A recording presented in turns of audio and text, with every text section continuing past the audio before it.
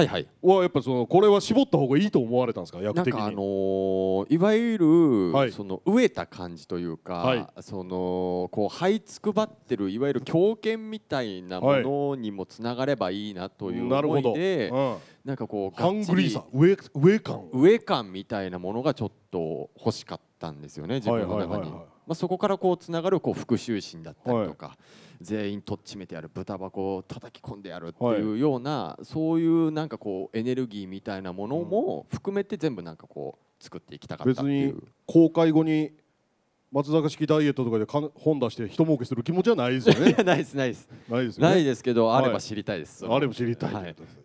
まあ痩せてる痩せてるそうですよね。びっくりしすごました。く絞られてましたもんね。でまあタフな役なんでね。はい。果たしてその減量は正しいのかどうかっていうかちょっと一瞬思ったんですけども、うんまあスクリーンに映ってみれば正しかったわけですね。はあ。シャープと言いますか。いやーそうですね。まあ3年の月日が経ったという、まあ作中で設定なんですけどはい。実際にやっぱりこの前回から本当に3年経ってるんあちょうどですよね。3年撮ち影に。ょうどそうなんですよ、まあだからこの3年分のこの溜まってた思いといいますかね、はい、はいまあそれをこうぶつけたいなとうん。思いまして。はい。そしてそれあ！のあこのライターそのもライターは？本当にもらったんですよあ実際に。実際に、はい。あの前作の時に、はい。あの役所さんから、はい。あのいただいて、うん。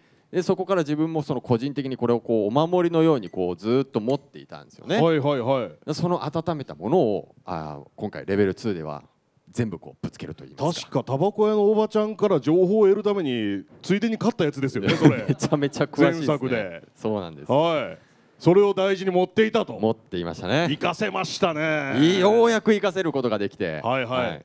僕は前作の後に松坂さんとはい。あの違うお仕事でご一緒した時にはいはいはいはいはい。あの狼から可愛いクマさんにはい。変身してた時なんですけどはいはいはいはい。その時にもさっき持ってらっしゃったもうライターをお。片時も離さず持っていらしてはい。この作品、まあ、続編にかける意気込みというかはい。松坂さんが背負ってるものはいっていうものをひしひしと感じました。そうやったんですねはい、そうですね。ずっともうお守りのように。お守りのはように空港次第では募集ですからだから気をつけてくださいそうなんですよ。えだからちょっとそこは気をつけてえ気をつけてはいあ。なるほど